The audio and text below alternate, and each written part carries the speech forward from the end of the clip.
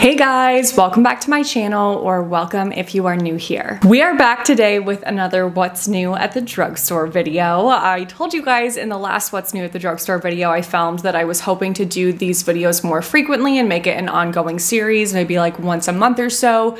But for the last video, that took me so long to film because there just hadn't been any new launches. And now I feel like I have enough to film another one already because there have been so many exciting new launches at the drugstore over the past month or so. So I knew I had to collect them all and get another one of these videos up for you guys as soon as possible. All right, I only have two skincare launches for this video. I feel like most of the launches were hair care and makeup for sure. So the first skincare launch that I knew I had to pick up right away is the e.l.f. Skin Sun Touchable Whoa Glow Sunscreen. e.l.f. has been launching so many new products recently and a lot of the new products that they're coming out with are definitely pretty like just apparent attempts at dupes dupes at really popular products. So this one is definitely an attempt to dupe the Supergoop Glow Screen in my opinion.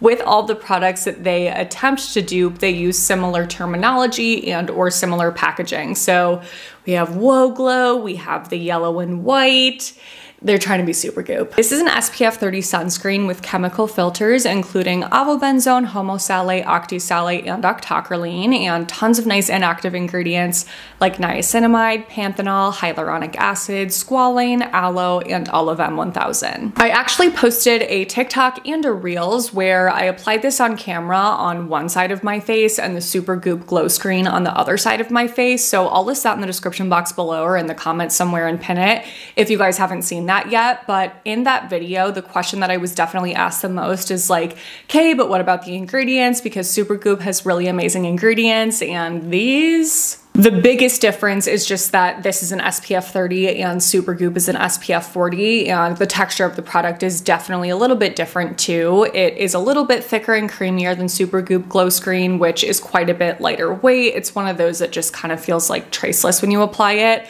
And this e.l.f. sunscreen is definitely lighter in color and a little bit more yellow in undertone, whereas the Supergoop one has a little bit of a darker orangier undertone. This applies really nicely. It feels nice and moisturizing. I don't have issues with it pilling and the finish is really, really beautiful. It's glowy, it's radiant, but it's not super, super, I don't know it's not intensely glowy in the way that I feel like Supergoop Glow Screen can be. That one I have to be really careful with, only apply a little bit, kind of just like as a topper. I would never use that by itself because it's too intense. This one is more subtle and definitely more suitable for oily skin or normal to oily skin or just anyone that doesn't want to look like they have a lot of a glowy primer or sunscreen on. So I actually do prefer the e.l.f. sunscreen to the Supergoop one, I think, aside from the SPF discrepancy because I'm an oily gal. You guys know that, and this is really good. The other skincare launch that I was really interested to try is this cleansing balm from Neutrogena. It's just called the Neutrogena Cleansing Balm, supposed to melt away dirt, oil, and waterproof makeup, and I was hearing a lot about it, so I wanted to get my hands on it. This doesn't really have any noteworthy ingredients to call out, which is perfectly fine because I'm just using it to remove makeup. But I do not like using this to remove makeup because it just has kind of a strange texture. I don't know if I happen to get a bad one, but it definitely has like a gritty feel where I can feel like I don't know, little granules in it when I am using it on my skin. It's not the worst thing ever. Like it's not like it feels scratchy or like I'm using an exfoliant or anything like that, but it just doesn't have that smooth, creamy feel that all of my other favorite cleansing balms have. So while it does get rid of everything on my face, it's just, that was a weird way of saying that. While it does what it needs to do and removes makeup, it just doesn't do so in a way that I love. So I did attempt to use this several times and I was just like, like, I can't keep reaching for this. I just don't like the way it feels, which is a bummer. So this one was a pass for me. All right, let's move on to makeup. First up is the NYX Bear With Me Blur blurring tint foundation. So this is supposed to be a blurring skin tint foundation in 24 buildable medium coverage matte shades. Reading that now, I'm like, okay, yeah, I probably shouldn't have picked this up. I mean, I should have for the sake of the review, but I probably should have known that I wasn't going to love this because it says that they're matte, but I don't know, something about this being part of the Bear With Me line made me think it was going to be a little bit more skin like because I really, really love their Bear With Me concealer. That one is skin like and definitely not matte. And this is just not something I really enjoy. It just kind of feels like a silicone primer like Benefit Professional or something like that. Not quite as intense as that, but it's definitely in that same vein. And I don't love the way products like that feel on the skin. And this is definitely just too matte for my personal preference. It definitely does provide a bit of a blurring effect, so I'll give them that, but I don't know, I just don't think that this looks nice on my skin. I have matte products that I maybe don't love as much as my glowier products, but they still look really nice and flawless. And I don't feel that way about this product. I feel like it just looks off and like I have makeup on, but it's not necessarily doing my skin any favors. I don't know. I feel like this would almost be better maybe like mixed in with another foundation or in a tiny, tiny bit on the T-zone area of the face to kind of help to blur and mattify oils instead of it being an all over complexion product unless you're someone that's incredibly oily and you really love this kind of product and it would freshen up with your oils. For me, it just didn't do that and I have products that will do that. It just stayed looking matte. I didn't love it. So dang, this one was a pass for me as well. I hope they come out with more things in this Bear With Me line, but just like not in this matte vibe. Next is the e.l.f. Luminous Putty Bronzer, which I was so excited to test out because I love their original putty bronzer and I love their luminous putty blushes. So I was very intrigued to see how this would come to life in bronzer form.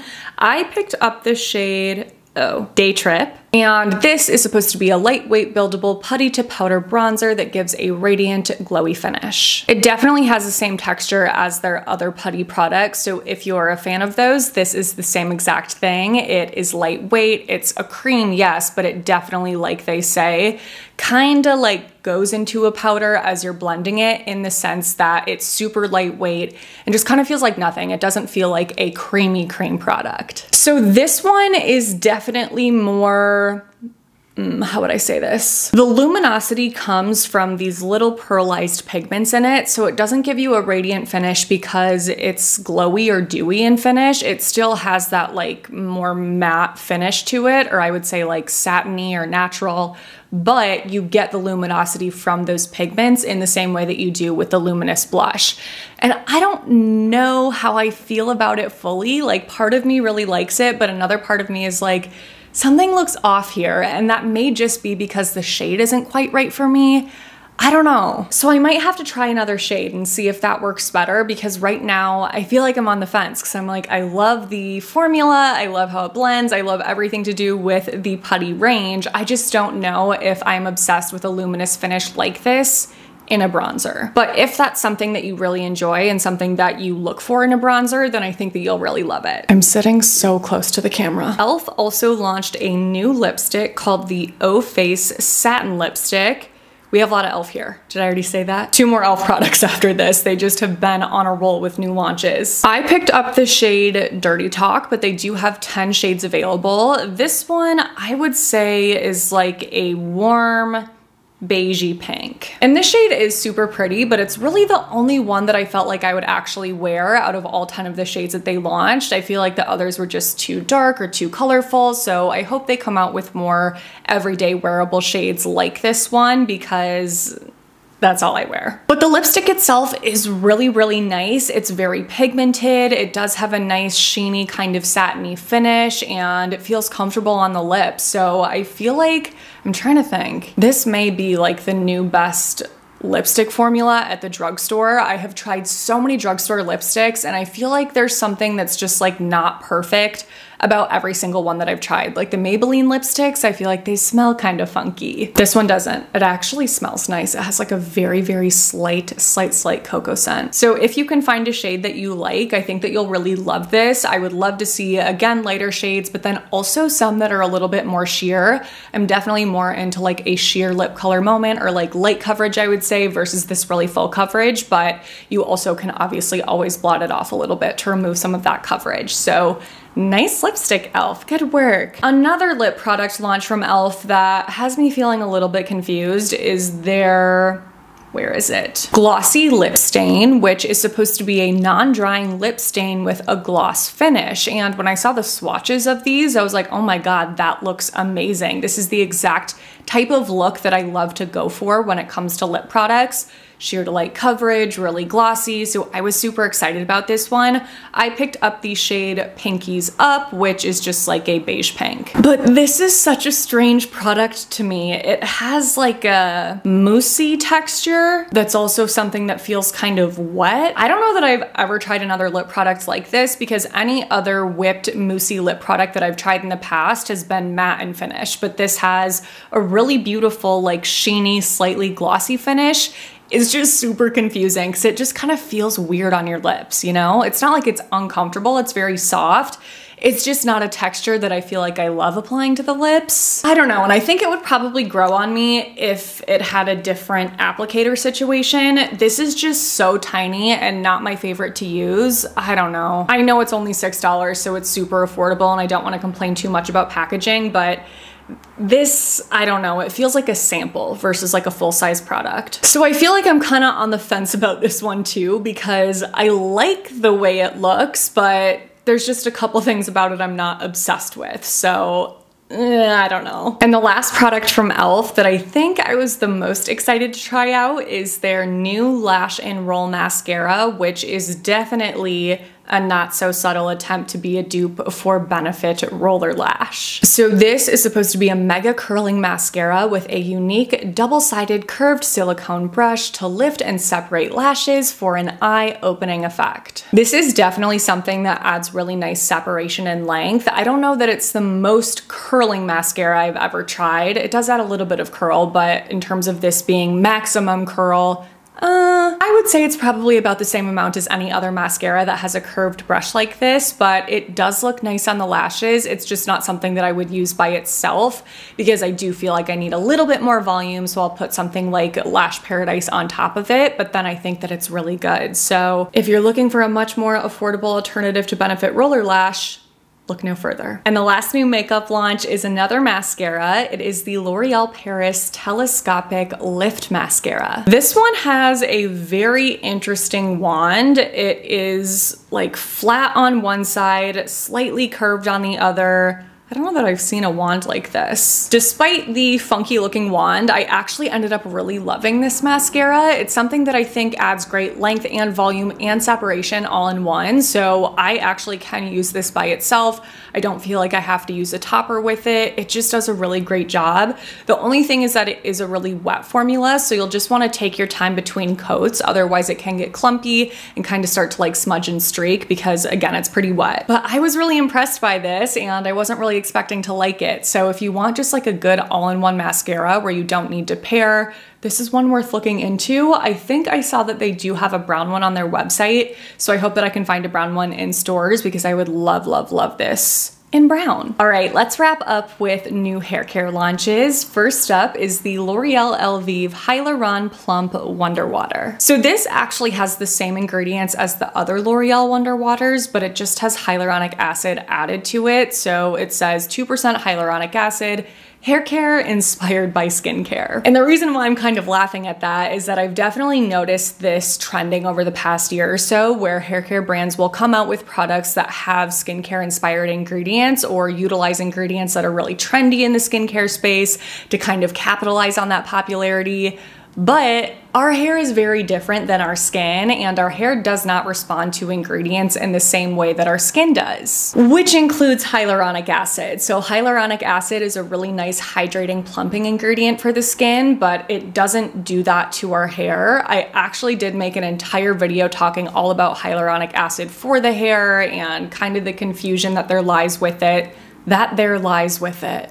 No, that lies with it Sure. So I'll list that below if you like to nerd out on hair care science and you're curious about this trend. It's not that it's bad for our hair, it's just that it's not doing what these brands say it's going to do to our hair. So I do think that this is a good product because it's the same as their other Wonder Waters, which I really enjoy as well. So if you are looking for an affordable treatment that you can apply to the hair that's really quick and easy to use, that's just going to help to add some additional shine, make the hair easier to detangle and help to condition, then this is something to look into. And I do actually have an entire video on Wonder Waters and how they work as well. So I'll also list that below and spare you guys the rehash of that entire video here. Another product that L'Oreal launched in this Elvive Hyaluron Plump line is the Replumping Serum Leave-In. So this again has 2% hyaluronic acid.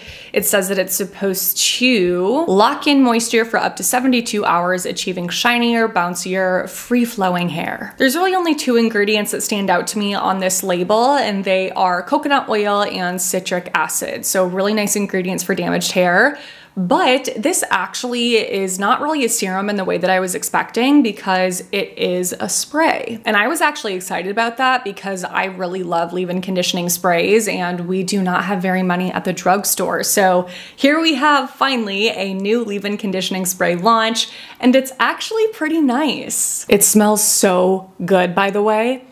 Oh my gosh. I definitely wouldn't say that this is in the same running as my favorite leave-in conditioning sprays like Pureology Color Fanatic, but it is something that I think for the drugstore is a step in the right direction. So something that will nicely condition the hair because it is a little bit creamier, but if you're looking for something to, what do they say, plump the hair? Oh, well, I guess, yeah, it's called Hyaluron Plump. So they're insinuating that you can't really like plump your hair in the way that you can your skin, but products can help to add volume by kind of like adhering to your hair strands and helping them to appear fuller. Second to last is the product that I was the most excited about out of everything in this video. It is the L'Oreal Everpure Bond Strengthening Concentrate Pre-Shampoo Treatment. I think that this is our first ever pre-shampoo slash in-shower treatment for damaged hair from the drugstore, and I am so excited to finally see this. I've been waiting for a product like this from the drugstore, and I am super excited that it's part of this range from L'Oreal because I love the bond strengthening line. So this is claimed to be a repairing treatment that improves damaged hair in just one use. And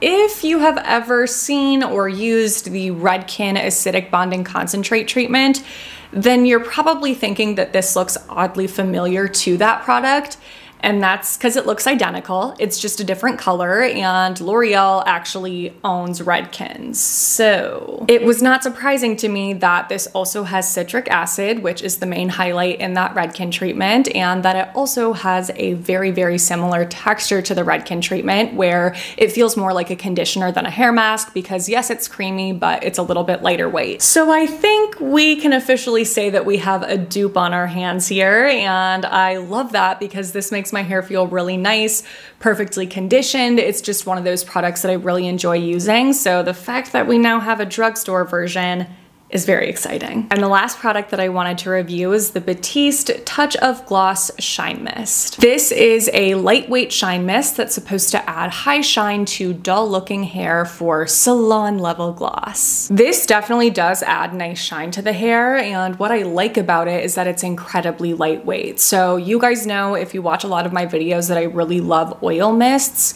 This is like an ultra lightweight version of an oil mist. It's just like a fine spray and it feels like nothing in the hair. So if you're looking for something like that to just kind of like top off your hair without adding really any additional product, but adding some nice shine, then this is definitely something to look into.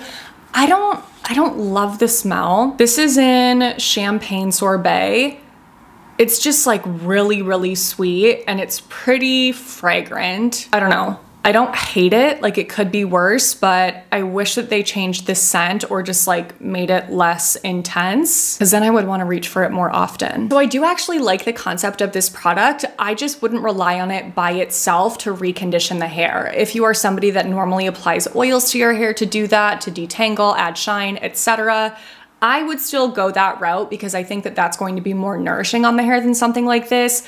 But again, if you're like towards the end of week, you're like, I don't want to add any more product in my hair. It already has so much, but it's looking really dull. I just want like a little boost of shine before I wash tomorrow, things like that. Then I think that this is a really great product. And I wouldn't be surprised if we started to see more products like this from other brands. Smart. All right, you guys, those are all the new launches that I wanted to talk through. So we're going to wrap up this video here. I really hope that you enjoyed it and I would love to hear your thoughts in the comments below. Have you tested out any of these products already? What are your thoughts? Are there any other new products from the drugstore or not from the drugstore that you would like me to review that you have your eyes on? Let me know in the comments below. And if you enjoyed the video, please don't forget to give it a thumbs up. Subscribe to my channel if you haven't already. Click on that notification bell and send my channel to a friend friend. Thank you so much for doing those things. Your support means the world.